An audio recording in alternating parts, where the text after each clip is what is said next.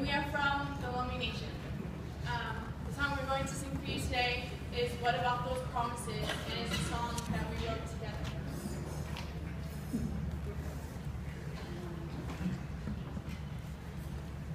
The mountain still stands